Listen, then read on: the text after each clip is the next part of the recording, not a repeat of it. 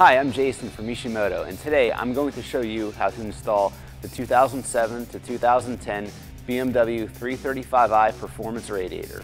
Tools needed for this installation are T20 Torx, T25 Torx, 8mm socket, 10mm socket, quarter inch drive ratchet, quarter inch drive 6 inch extension, flathead screwdriver, smaller flathead screwdriver, and BMW approved coolant.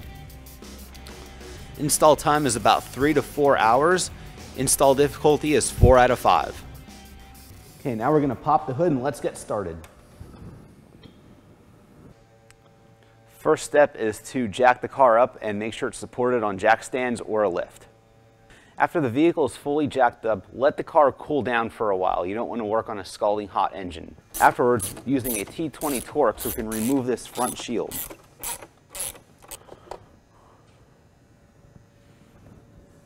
Once the car is fully cooled down, go ahead and loosen the bleeder on the coolant reservoir. With the car up in the air, now we're ready to remove the under tray.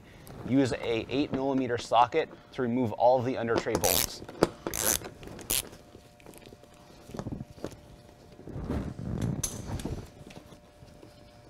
Once you remove the final bolt, set the under tray to the side.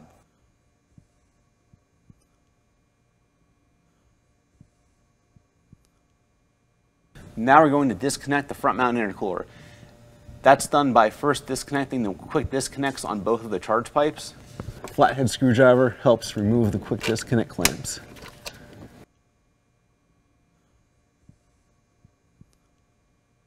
Now using a T25 Torx, remove the two lower intercooler screws from the car.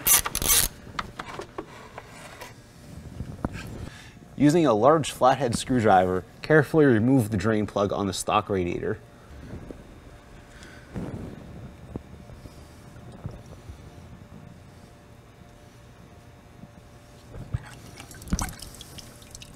When most of the coolant is done draining, you can go ahead and put the drain plug back in before we're ready to take the radiator out. Now we're going to remove the upper radiator hose and to assist with the quick disconnect coupler, using a flathead screwdriver to remove the clip. And remove the overflow hose out of this clip.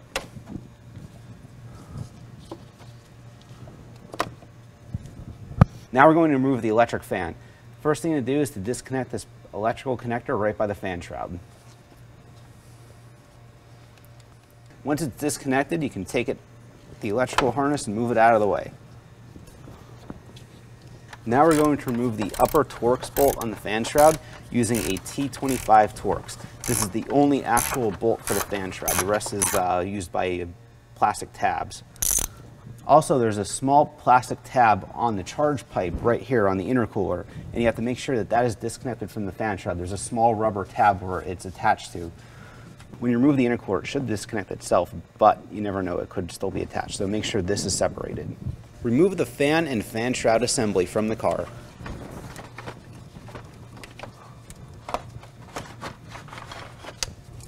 Now that the fan shroud is removed, now we can remove the lower radiator hose and the removal is the same as the upper.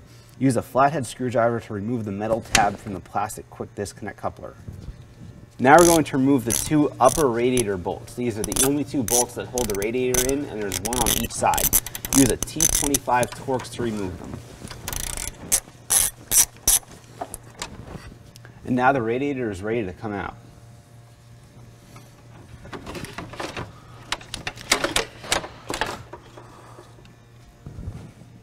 Now you can go ahead and install your new Mishimoto radiator. Bolt the Mishimoto radiator back into place.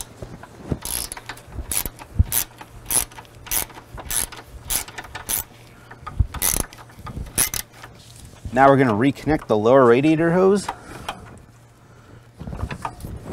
Now we're going to reinstall the stock fan shroud.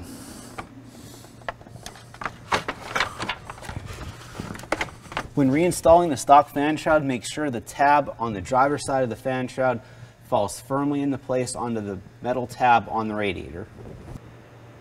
Use the supplied M6 bolt to reinstall the bolt on the passenger side of the stock fan shroud. And use a 10 millimeter socket to tighten it. When it's installed, you can go ahead and reattach the fan shroud electrical connector. Now you can reattach the upper radiator hose and reroute the overflow hose on top. Now we're going to reinstall the stock intercooler.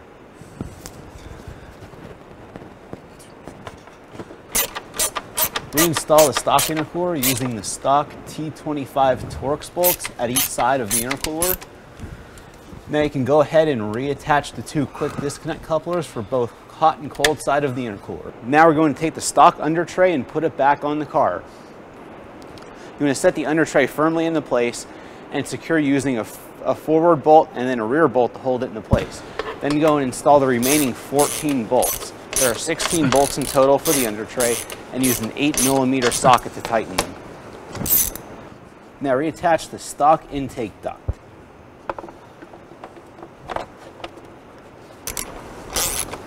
And attach using the two T20 Torx screws.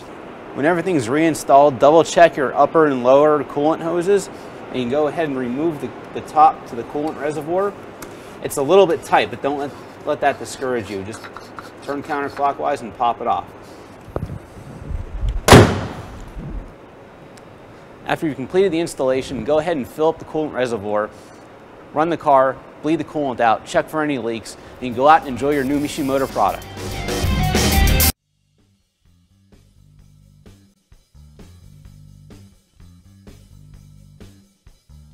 Here at Mishimoto, we trust that our products will be the highest quality you can buy.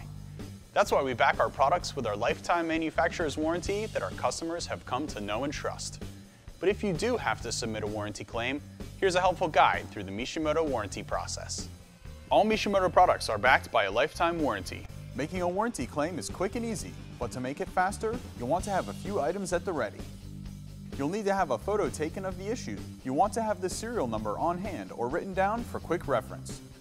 You'll also need a copy of the receipt handy. If your product has been compromised by the result of an accident, don't worry. The Mishimoto Lifetime Warranty covers accident protection as well.